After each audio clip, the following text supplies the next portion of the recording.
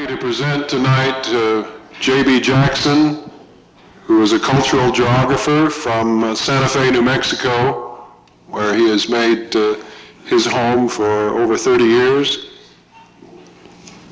Mr. Jackson is a lecturer at Harvard, an adjunct professor at University of California at Berkeley.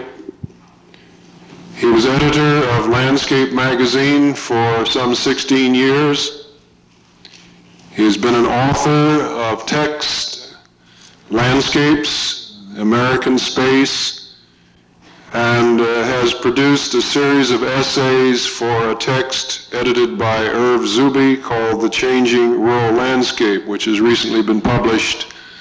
I think it was out in May of this year. In last May, J.B. Jackson received an honorary Doctor of Fine Arts from the University of New Mexico. And if I may uh, read from a small article produced, uh, I'd like to uh, introduce John Brinkerhoff Jackson in these words. A scholar of world renown, a longtime resident of La Cienega, New Mexico, John Brinkerhoff Jackson has been awarded an honorary Doctor of Fine Arts degree by the University of New Mexico. Jackson was a pioneer in the, in the concern for the relationship between man and his environment.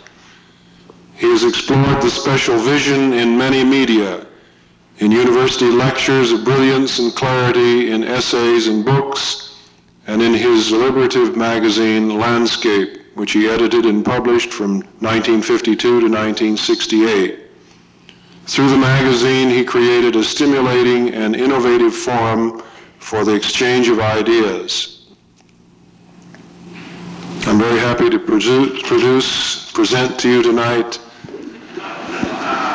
produce Mr. J.B. Jackson.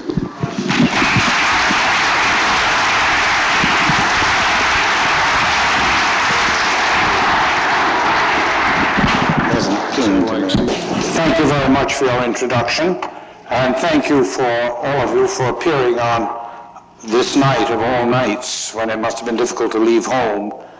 Uh, I'm also appreciative of the fact that I was not introduced as a landscape architect, which very often happens. Not that I would not like to be a landscape architect, but I just don't happen to be one.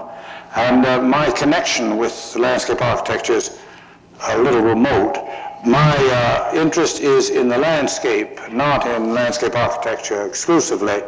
And the landscape, as I define it, is an area which is occupied by a particular society, and in the landscape is the product of this society uh, trying to get along with itself and trying to adjust to its environment, its uh, eco-social system. Uh, I bring that out uh, simply because I'm interested in the impact of a society or of a culture on the environment and of the environment on the uh, society, not very much concerned with the individual in this particular relationship. And one way in which a society establishes itself in a landscape is by building monuments, by recording its past, by celebrating its past. So my topic tonight is uh, on the necessity of ruins, uh, and I will explain why I think they're necessary. Uh, because I think it's a landscape matter, it's an architectural matter, it's a historical matter too, quite obviously. Uh, one of the contributions which the bicentennial, bicentennial year uh, made to America uh, was the revival and wide circulation of the word heritage. According to the dictionary, incidentally, the Heritage Dictionary, uh, the word signifies, quote, something other than property passed down from previous generations. Uh, in this sense, it means pretty much the same thing that tradition means, uh, which is sometimes defined as the body of unwritten laws and customs inherited from the past. Uh, close quote. That's also from the Heritage Dictionary. Heritage, therefore, stands for something invisible and even uh, highly personal. Uh, uh, is very much a matter of memory. uh, what we ourselves remember and what, is rem- what we're reminded of is what our heritage is. But the excitement of the bicentennial year, if you remember it, uh, gave the word a very much more tangible, not say negotiable uh, meaning. Uh, there's nothing wrong in redefining words. Uh, we do it all the time, and it's the way a language grows. And we're quite entitled to use a word in another sense if uh, we need it in another sense. And I think it was very evident in 1976 and also in 1977 that America wanted a word uh, to indicate the material remains of the past, not the traditions, not the heritage in this uh, intangible sense, but the material uh, past, or any material reminder of the past. We need some such word. We haven't got it, except ruin. So we produce this heritage dictionary. And we had dozens of heritage cookbooks, if you remember. And we had heritage decoration on coffee cans. And we sold heritage homes that cost $40,000 a piece. All of these uh, were part of the bicentennial year.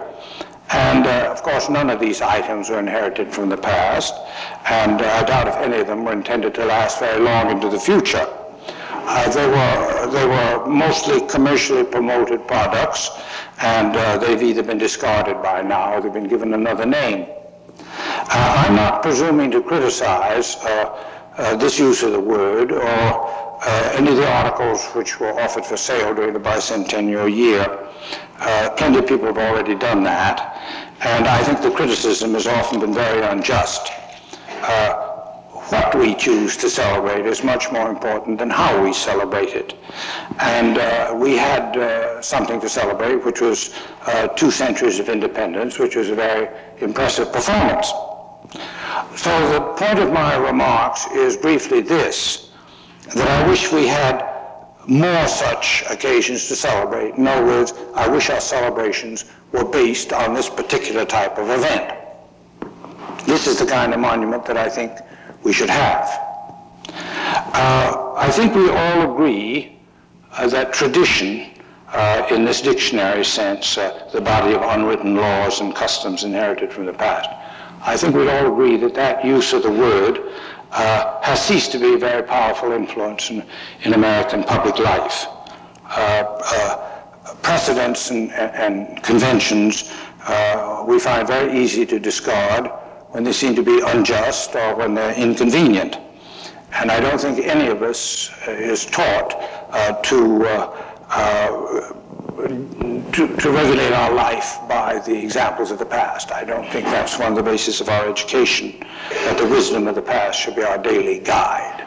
Uh, but we all know, uh, either from direct contact or from reading about it, that there still are societies where tradition where that uh, heritage of unwritten laws and customs regulates all public activity, everything from dress and uh, language to food and religion.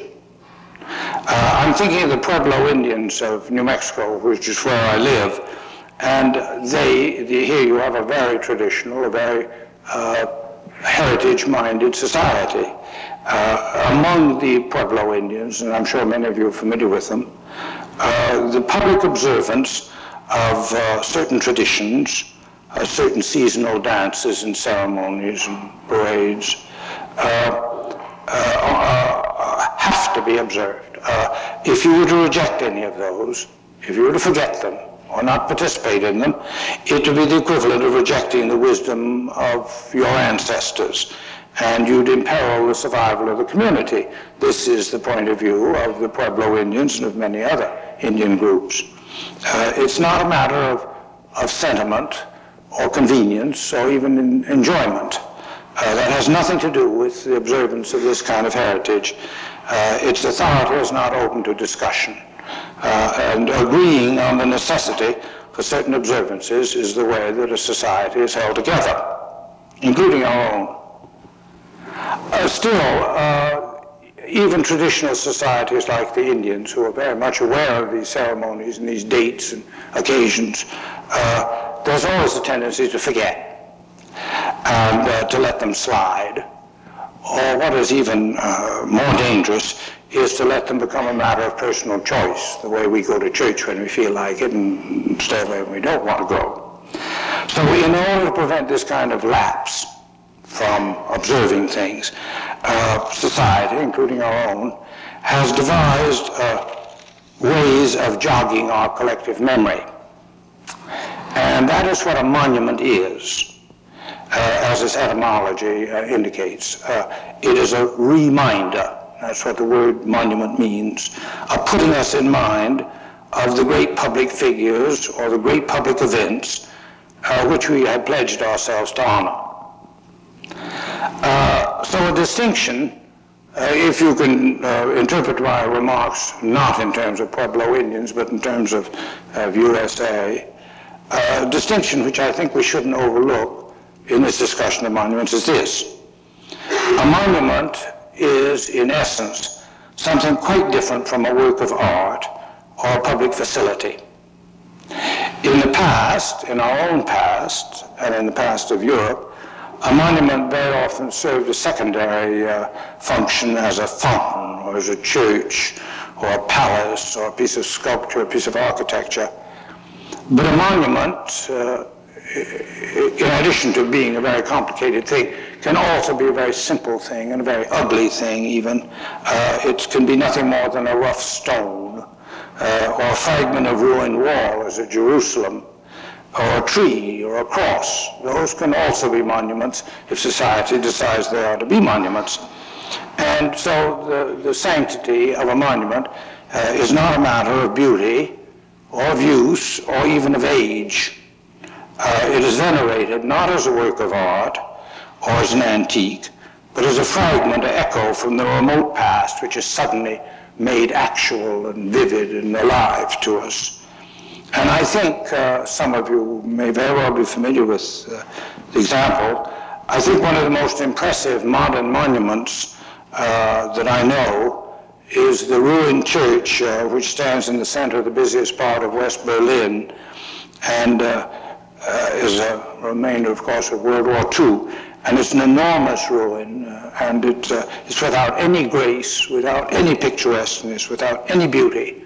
Uh, but perhaps on that very account, it's a, it's a very vivid and, uh, and dramatic reminder of World War II, a monument to World War II. And it drives home a lesson to see this hideous ruin much better than if it were a work of art, I think.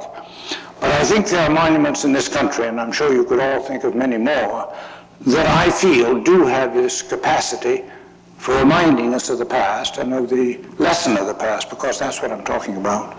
And uh, one of them, I feel, is the monument uh, near the bridge at Concord in Massachusetts, which I'm sure some of you have seen.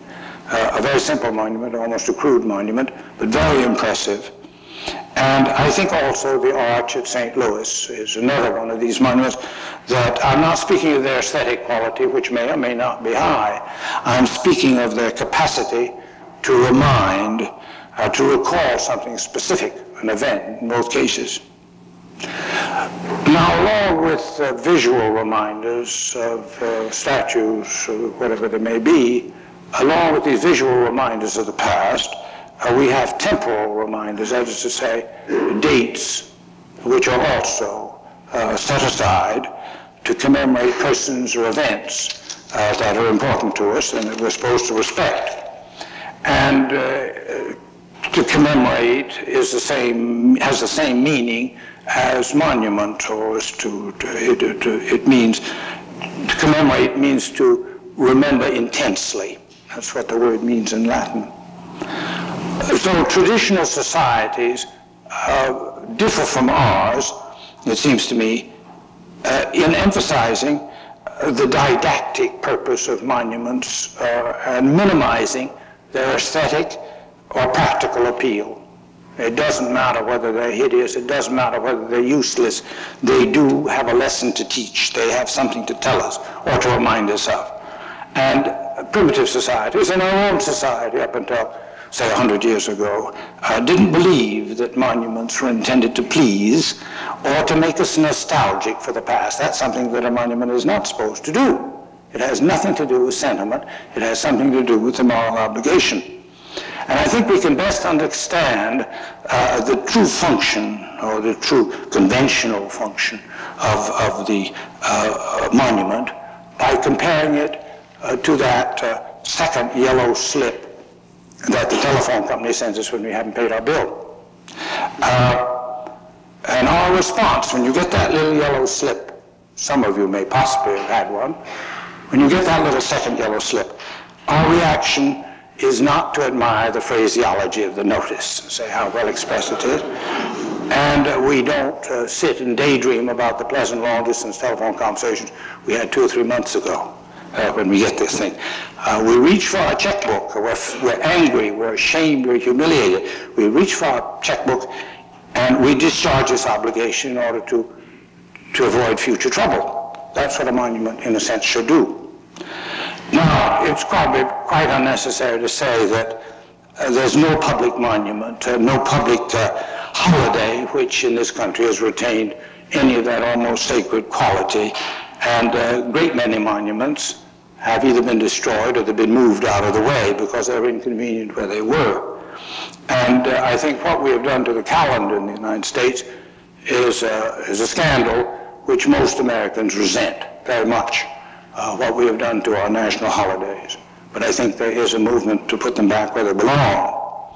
Uh, but when we look around at more recent monuments, uh, whether World War I or World War II or Korea, what we very often find, and I'm sure that they would, would find it here in Muncie, are a series of public installations, uh, memorial parks, memorial stadiums, memorial student unions, uh, memorial drives and highways and bridges. This is the way we are uh, thinking of monuments now. And California has a memorial redwood grove which was planted some 2,000 years ago, to be sure.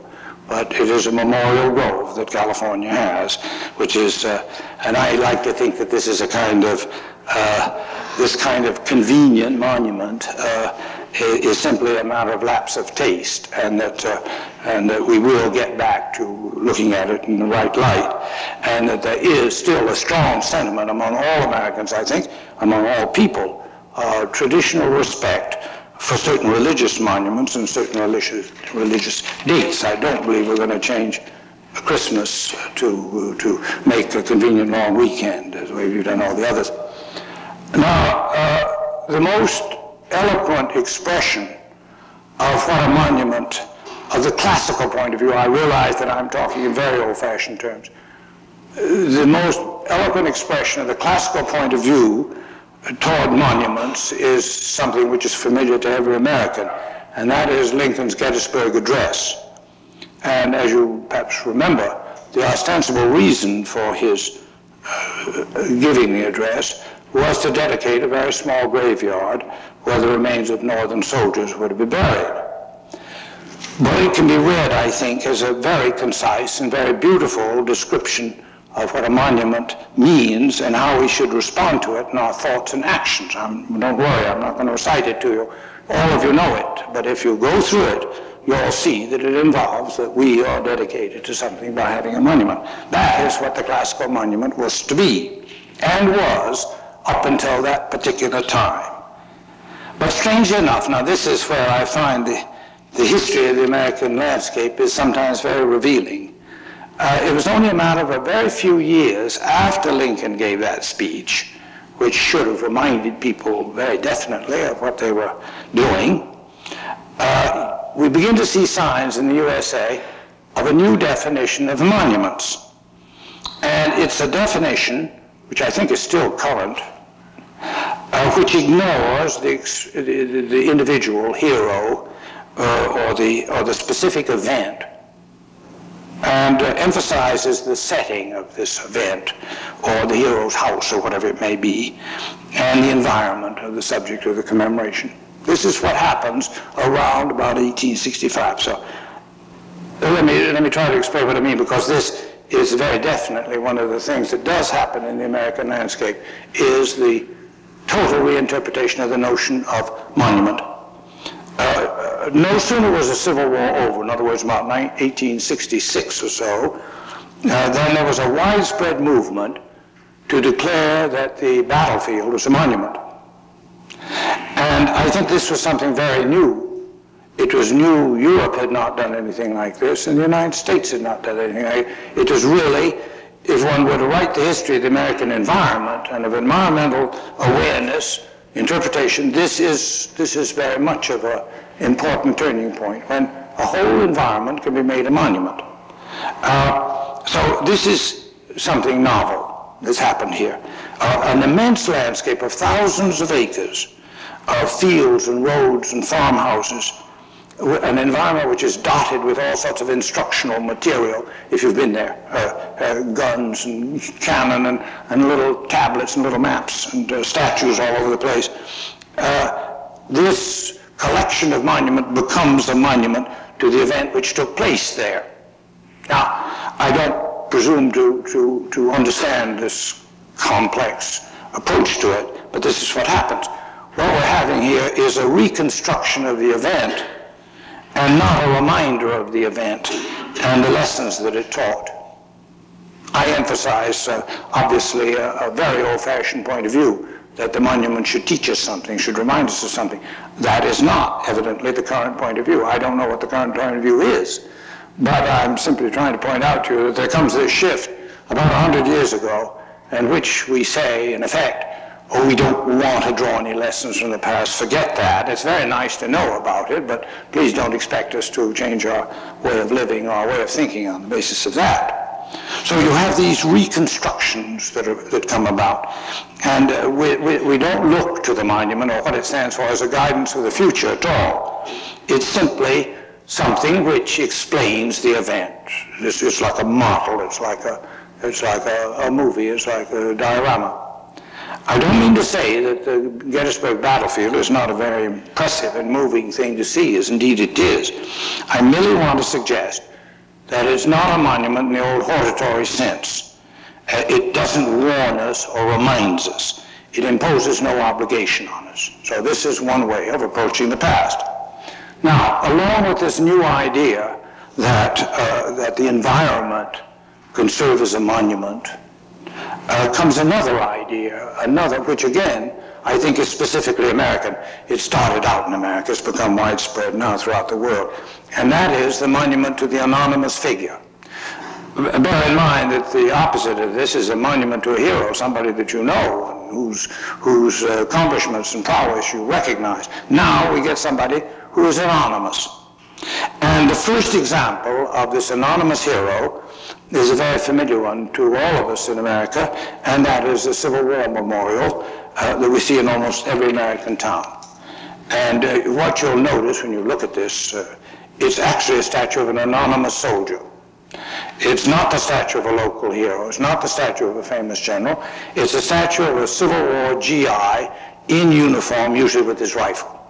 I think this is a remarkably appropriate kind of monument. Uh, but it was new at the time. The anonymous soldier had never been recognized, and it's a, not only a democratic tribute, but it's a, it's a, it's a new way of approaching war.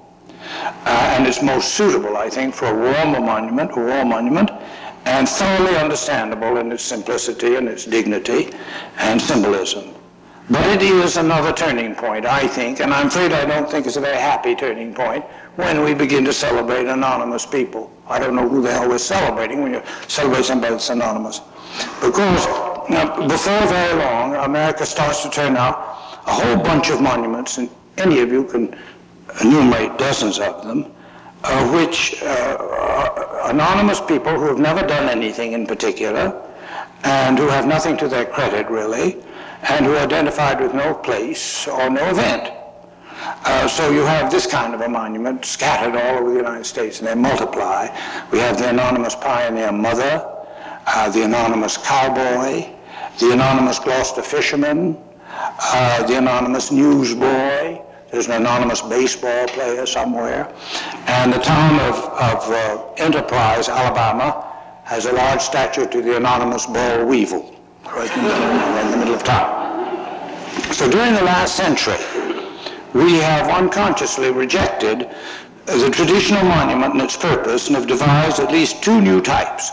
the anonymous figure in the environment, or the pseudo-environment. And by pseudo-environment, I mean all these memorial stadiums and memorial libraries you see in every American town. And we take them for granted. Uh, but no longer than a generation ago, uh, they, were, they were bitterly criticized. If you read any of the architectural magazines of, say, after World War I, you will find bitter criticism of this tendency to use a bridge, highway, park as a memorial. They said they thought that was, uh, that was uh, lacking in piety. And uh, so it was. But that idea has been pretty well abandoned. Now, there was an American architect by the name of Leopold Eidlitz. Some of you may have heard of him. He was uh, a good architect in his day, which was in the last years of the 19th century. And uh, he wrote very well for architectural magazines. And he wrote in an architectural magazine discussing the lack of monuments in America at that time. This was 1891. And he said this, we are busy in improving the material conditions of mankind, and I have to look upon ethical relations not so much as paramount in themselves, but as adjuncts to material well-being. The priest and the soldier no longer govern the world. They are relegated to positions of servants of the people, and the merchant, the manufacturer, the builder of railroads and ships have taken the place of kings, bishops, and generals. The majority of buildings which command the attention and services of the architect at the present time and in this country are strictly business buildings, railroad stations, insurance and office buildings, stores and new offices, and of course we build courts of justice and capitals. They represent vital social and political ideas, but these ideas have been deprived of their poetry. A judge no longer performs the functions inherent in his office in the past. He is sunk down into a referee who decides upon the cogency of contending lawyers. Hence it is a fact that a courtroom is nothing more than a convenient apartment for legal discussion, and a number of such apartments are habitually packed into a rectangular structure which can in no way be distinguished from surrounding business buildings. This is Mr. Eidlitz writing an architectural record in 1891. So evidently, it, they were aware of very much something was happening then. I think Eidlitz's explanation is very good. I think we ought to, at least I ought to, try to understand the attitude that we are now expressing with these two different kinds of monument, the statue to the anonymous figure and the reconstructed or pseudo-environment. And I think it's very clear that we are most interested in our past as distinguished from our history. And that uh, we, want, uh, we want to have that past part of our daily life and part of our daily existence because it expresses, because it establishes continuity. And that, of course, is an excellent reason. As the reason for any monument is to establish this continuity. And the question in my mind is whether these contemporary monuments, these anonymous figures, and these uh, pseudo-environments do, in fact, establish any kind of a link with history. And I may say I don't think they do. Uh, the latest phase in this development of this American attitude, I shouldn't say American because I think it's probably spreading into Europe and other parts of the world, but I only know of it here. The latest phase in the development of this new American attitude toward monuments is one in which many young people, uh, especially architects and planners and landscape architects, are interested, and that is the preservation and restoration of past environments, both architectural and urban.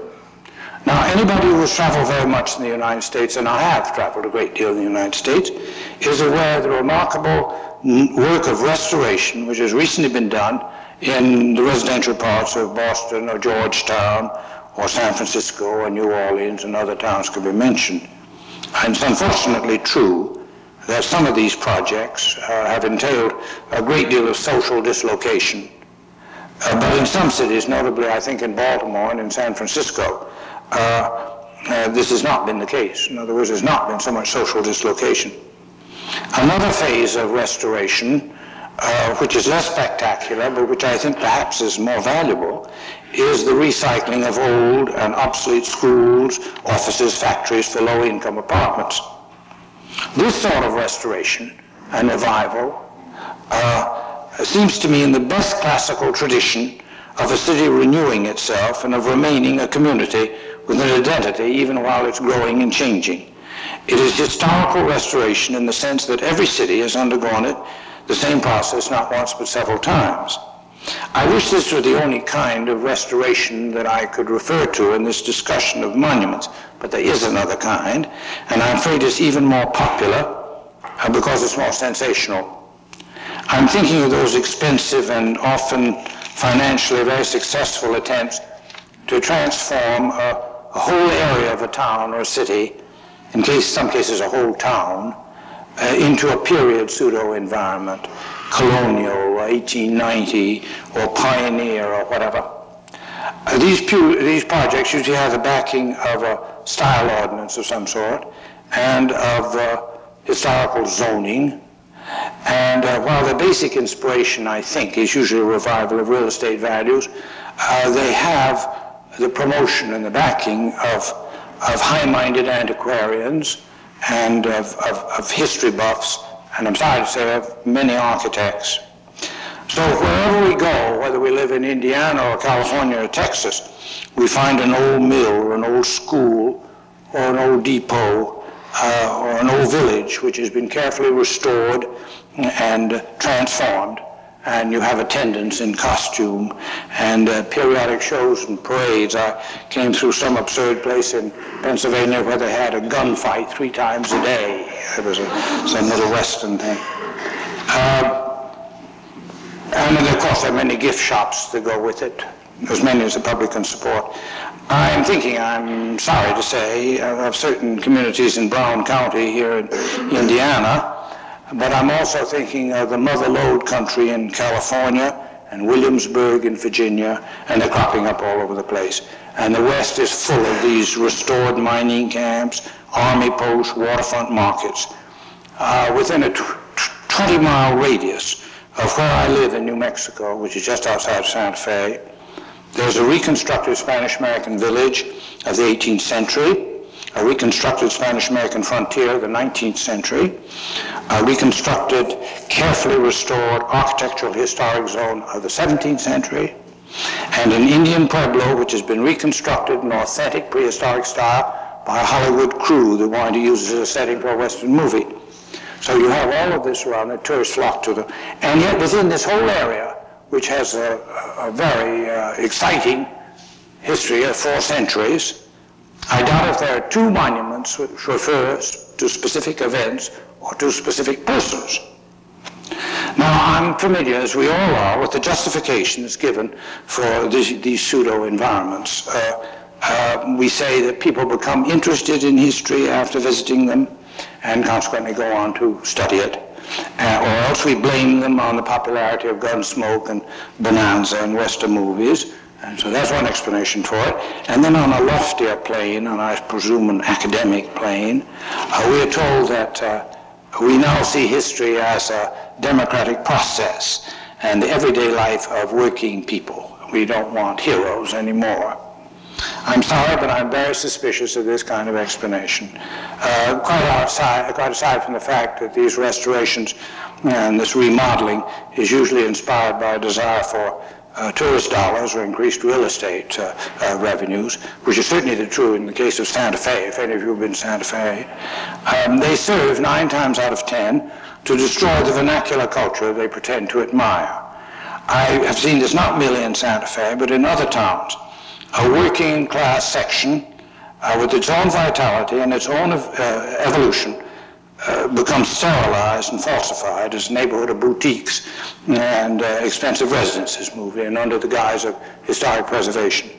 I've seen architectural development brought to an abrupt halt and uh, picturesque cuteness becoming an official style. And the past in such cases is degraded by having its face lifted. Uh, some of you probably read an article which appeared in uh, the New Yorker by Calvin Trillin uh, which was entitled Thoughts Brought On by Prolonged Exposure to Exposed Brick. In it, he says, when old warehouses and abandoned factories all over the country started being scrubbed up into boutiques several years ago, we traveling people accepted them more or less the way it is accepted holiday inns, at first marveling at their presence and then grumbling that they all looked alike. The brick exposed in Ghirardelli Square in San Francisco tended to look like the brick exposed in Pioneer Square in Seattle, which had some similarity to the brick exposed in Old Town Chicago, or Underground Atlanta, or the River Quay in Kansas City, or Larimer Square in Denver, or Gaslight Square in St. Louis. Some of the historic renovations are chic and some of them are tacky. I walked through all of them, the ones whose buildings do evoke the history of a city and the ones whose buildings seem to comment only on the history of American brick.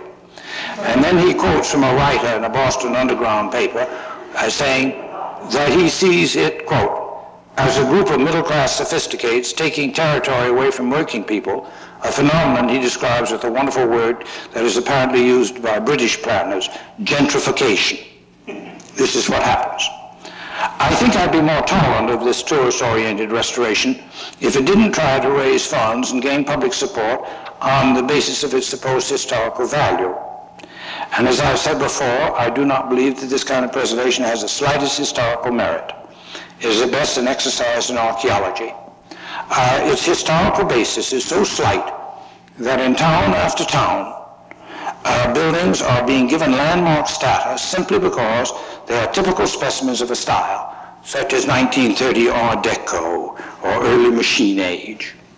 Some of you may be familiar with an organization, which is a very worthy organization, called the Society for Industrial Archaeology. Uh, anyhow, it's a group of people uh, uh, who are interested not only in the study and the preservation, uh, or documentation, I should say, which I think is very worthwhile, this, the study and the documentation, but they also want to preserve such items as old power plants, truss bridges, roundhouses, factories, God knows what all, that is related to, to the industrial life of this country. Uh, I look forward to the time when this enthusiasm collides with the, uh, that of the more conventional antiquarians, because they undoubtedly will. Now, I don't believe Muncie necessarily is in the line for this kind of thing, but there are towns in the east which are very small, which will have a mill which has architectural merit, and there's an effort to save it. And what you might expect, but which was not foreseen, was there was great resentment on the part of the people whose parents or grandparents had worked on these factories and who didn't think of them as monuments at all. Uh, but this is where there's a total lack of social responsibility to restore and to venerate a factory in which people have been very unhappy and don't like, and yet this is imposed on a community. This is what this uh, antiquarian zeal can very often do. Uh, so my criticism of these projects is simply they do not qualify as monuments. They do not remind us of significant or worthwhile actions and persons, uh, remind us of public values. This is very old-fashioned on my part, but I cling to the idea that that's what a monument's about. Uh, I have no criticism at all of any attempt uh, to revive and improve the city or the countryside. Uh, only I think some sense of social responsibility, if not hysteric, historical awareness, is in order. Uh, and uh, aesthetic characteristics are not the only ones which are to be considered. So I have a few criteria to suggest for, uh, for restoration and, and uh, preservation of architectural things. First, I, I would say that residences, places where people now live or could live, are more essential than places of business or recreation or museums. That is to say, dwellings should be restored as residences whenever possible, not as showplaces. Second, people should be allowed to continue to live in their communities even when the communities are restored. In other words, a working class quarter is not to be made over into an upper class quarter. Third, restoration should never obliterate signs of the passage of time. This is the way architecture evolves, by changes and improvements and alteration, not by conscientious uh, architectural restoration. Fourth, restoration should never destroy the original dignity of a, of a building. Uh, I don't know anything about what's being done here locally. I suspect everybody is guilty of this kind of thing. In San Francisco, there's increasing protest. Those of you who know San Francisco, uh, with the tendency to paint Victorian houses amusing colors or far out colors. And uh, this, uh, this tendency, this procedure is occurring throughout the country, I think to the indignation of a great many people. This is one of the things which should be stopped. Uh, fifth, uh, restoration should never isolate a building uh, from its social environment, should never transform it into a work of art uh, in the midst of an active working community. And six, these restorations should be destroyed or converted into something else when they're no longer useful. They, they should have no immortality conferred upon them. And finally, let's not forget, there's another aspect of historical restoration or historical um, monument creating, and that is the calendar. Uh, a series of events, of parades, of holidays, of fairs. Uh, these can do more to revive community awareness and a sense of belonging to a community than a great deal of archaeology and facelifting. Uh, in closing, uh, let me put in a word for the bulldozer. Uh, I, I, don't know how you feel about the bulldozer here, uh, but where I live uh, in the Southwest, uh, the bulldozer is honored, and we're happy to pay $20 an hour for its presence. it makes new roads and it repairs old ones. It makes dams and ditches and it levels fields not only for housing developments but for raising crops. Uh, it is quite possible, and very often has happened, that the bulldozer destroys objects of value. But it is also possible that we are not taking full advantage of this destructive power.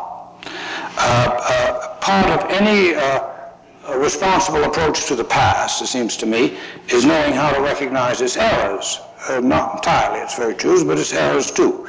And every preservation group, I think, uh, should have a bulldozer subcommittee uh, designated to, uh, to mark for complete destruction some eyesore. Now, for every house or garden or patch of scenery which is lovingly preserved, uh, uh, some antisocial freeway, some disgraceful tenement, or some abandoned gas station should be put on the bulldozer list. Uh, for must, I have to revert uh, to, the, to the moral aspects of history, of what, the, what history can teach us. Uh, it's only when we realize that we can obliterate uh, the mistakes of the past uh, that we are really free to admit their existence. And any piece of equipment that is capable of destroying the errors not only of the past but of the present is likely to be in pretty constant use.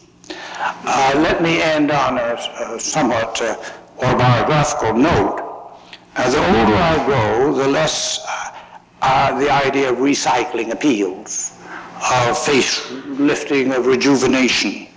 Uh, there comes a time when obsolescence is not only inevitable, but the course of dignity and self-respect.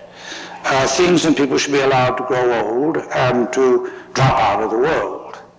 Uh, the instinct to restore and to preserve is a very generous one, a very youthful one too, and the world needs more of it, more than ever. Uh, but it will be even more valuable, I think, when it achieves maturity and recognizes the beauty and necessity of ruins.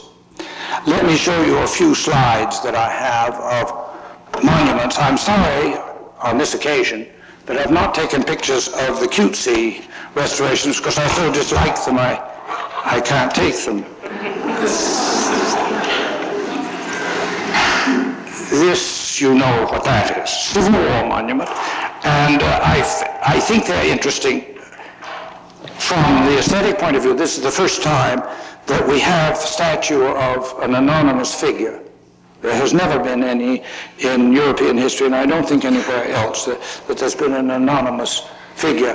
Uh, secondly, uh, there was an industry that grew up around the designing of these things. There were several firms that turned them out, and you occasionally will find a catalog of Civil War monuments. It was very interesting to find.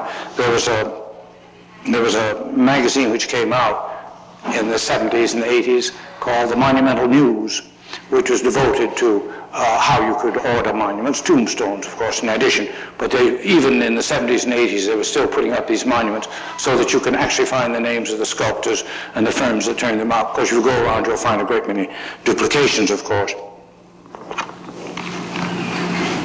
This is, uh, I think, a very good illustration of the classical monument and what it means. It's a little town in uh, New England, in Massachusetts, called Barre with the church in the background and then the monument in the foreground, uh, both on the common, uh, both uh, so obviously hortatory in nature that you don't have to comment on it. But this, I think, is what the monument's all about. Uh, this is again Boston. This is the monument to Paul Revere, which you may be familiar with. And this uh, mall here, uh, which is called, I can't remember, it has an Italian name for some strange reason. But this is the center of the Italian part of Boston. And it's used by older people who sit here, by children, a very successful thing. But Paul Revere is there too. And I think they are aware of it. This is, of course, what you all know. Now, I don't know uh, what uh, a sophisticated artistic taste would say of this thing. It may be that you find it a thing of horror. I don't. I like the symbol of the gateway and what it represents. But I undoubtedly would like something that was better, which represents the same thing. This is a, a, little town in New Mexico and uh, called Cimarron, New Mexico. And this was uh, uh, Captain, well, I don't know, can't remember what his name was, but he was the man that founded the town. And so one of the local people built this statue of Captain Maxwell. It's all plaster, and it's terrible, but at least it's uh, it is a statue of somebody that uh, stood for something, and it is respected by the people in the town. Been many efforts to tear it down on the part of the beautificationists, but they still keep the statue of Maxwell in the middle of town. Uh, this, uh, you know. Now here, I don't think I have to express what this is, the house or the residence of an important heroic figure in American history. By all means, let it be restored. What I object to is, as one finds in plenty of towns, well, this is the house of the, of the Snigglefritz family. They're very rich people, and they had lots of nice furniture, and they used to entertain a lot, and uh, their house is very attractive, and why don't we restore it? And a women's club will take it over, something like that. And this is made a cause, and I don't think it should be. If the Snigglefritz family wants it as a monument, let them restore it. this is Gettysburg. This is Gettysburg, a part of the field there. And you see the tablet there, which will explain whatever this particular battery was, which way it was aiming. And all of this is very interesting, very informative, but it doesn't drive home the point of the Civil War at all. Uh, these are, this is a terrible this is something that the Boy Scouts of America, back in about 1919, I think, another anonymous statue, anonymous, doubly anonymous since it's Statue of Liberty, but uh, it was given by the uh, Boy Scouts of America to communities that I presume had a certain amount, certain enroll, enrollment. And so that you find the Statue of Liberty, you may find them here in Indiana, but I doubt it. These were throughout Kansas and Oklahoma and Texas uh, very simple little communities where I dare say they were trying to encourage Boy Scouts. And unfortunately, in this case, the head had broken off Statue of Liberty, and they put it back without any net, so that you could... this is this is what I this is what I object to. This is what this is a kind of frivolity that I object to very much. This is the statue to the boll weevil, you see. Now, this is something which I'm sure many of you dislike. I find it about as near to a monument as, uh, as there is a vernacular monument. And that is when this happens to be the College of Mines in New Mexico. And that's a terrific mountain that those poor freshmen or sophomores have to climb to whitewash that big M every year. And you'll find it. And uh, of course, as I say, most well-thinking people find it terrible. I like it. And uh, I like I, I, try to get as near as I can to take these pictures of. This, this seems to me represents monument in the true sense of the word. And it's as best that most of our little communities can do. And it's done usually by high school kids. This, again, I find it...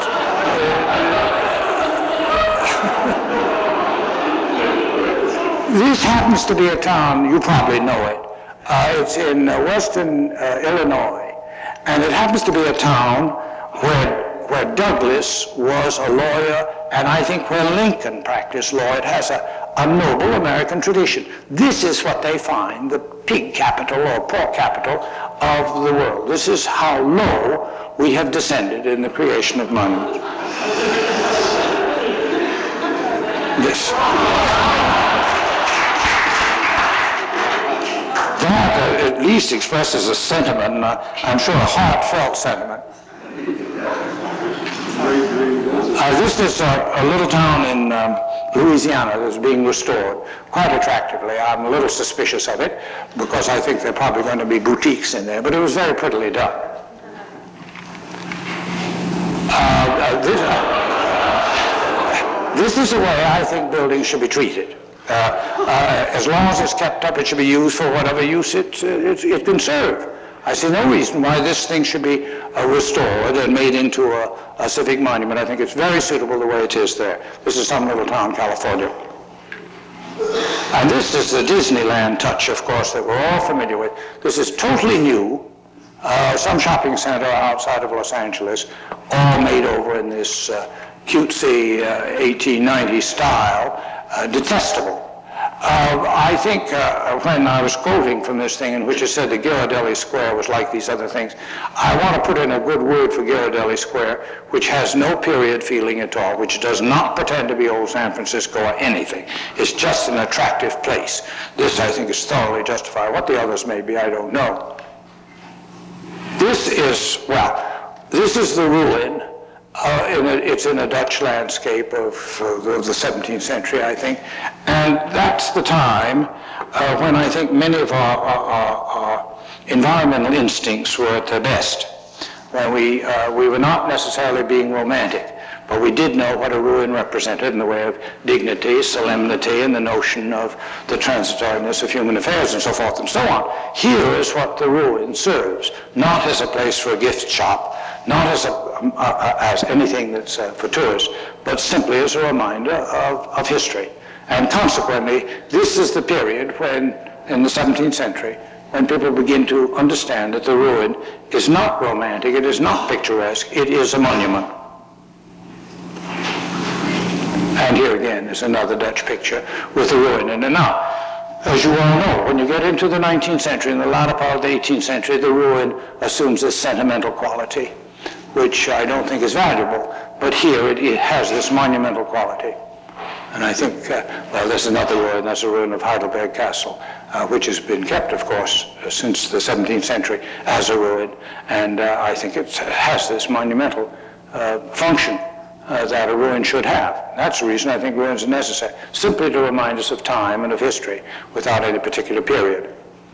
All right, there's another one. That's a little town in Arizona, Arica or Arica, with their enormous A that the high school has put up on the side of the mountain. And I think that's probably the last slide. No, we, that happens to be Bunker Hill uh, in, uh, in Charleston. And I, I, this, I'm sorry to say, I'm old-fashioned enough to think that this is a perfect monument. Okay, thank you.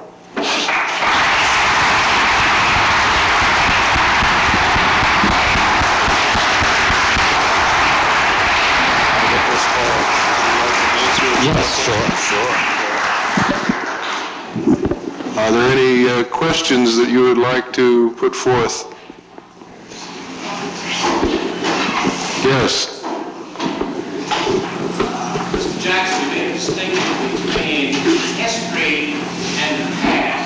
And I have that very intriguing. I wonder if you elaborate on that. Elaborate on the distinction between history and the past. Is that right, Dave? I'm sure that's a rhetorical question. You know the difference as well as I, and I'm not very sure of it. I would say history is a chronicle of events and people, uh, a very specific knowledge of, of what had gone on. A sense of the past uh, can be sentimental and uh, without much detail to it. I don't think that's a very good explanation, but that's the one that I see. I think Americans are very fond of the past and have a very pleasant feel for it. But I think history is more important, educationally, certainly.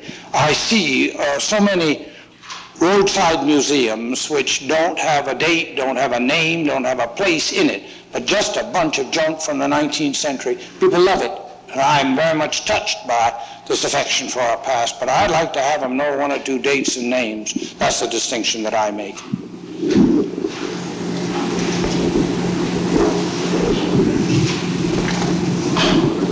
No, no, it doesn't. Yes, up there. Uh, how do you feel about the deterioration of ruins like the air pollution destroying the Roman ruins and that kind of stuff? I think it's very unfortunate. I don't know the I don't know the extent of it. I think it's uh, very unfortunate, and I think it should be checked. I, I don't believe it uh, should affect our attitude toward that particular monument. You think it should, they should be, be able to control that? I think they should try. I, th- I think, yes, I certainly do, though a deterioration undoubtedly will continue. But that you're quite right, that kind of thing should be preserved as much as we can. I have no objection to preservation when there's piety back of it, to use an old-fashioned word. I simply don't like it when it's a tourist. Come on. Okay. Yes.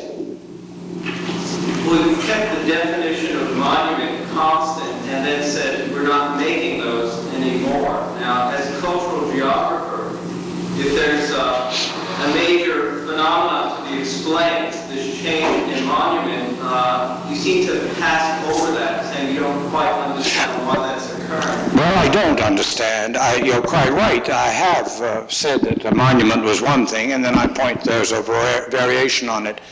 I'm sorry to say I feel that what has occurred is a deterioration in our historical consciousness and our sense of, of our own background and our own culture. I'm afraid there's no other explanation. I'm sure there's a more charitable one. I can't think of it. And I just wish we knew our history better. Yes. You say that monuments are turning from heroes and events to environmental settings. Could you further separate the setting from the event? How do you define better? Well, very often it isn't an event.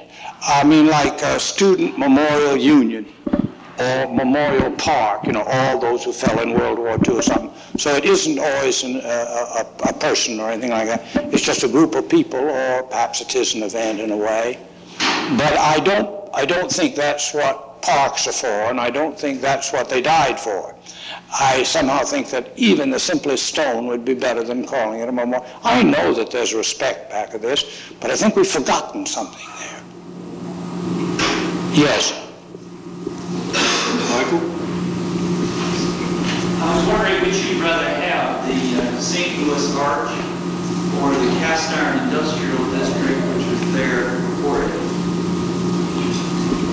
Uh, that's a, that's a, an, an important choice that I'd have to make. And since I do have to make it, I, I realize that it, I would say the arch. I'd say the arch. Uh, this is a, this is perhaps a very narrow point of view. I think a public, political, historical event perhaps has priority over private concerns as a, as a lesson.